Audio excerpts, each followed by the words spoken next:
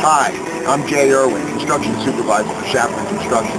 We're here in the Encino Hills building a beautiful 4,100 square foot home with a 400 square foot garage. I'd like to invite you inside to show you some of the work that our Shafran crews are performing today. Come on.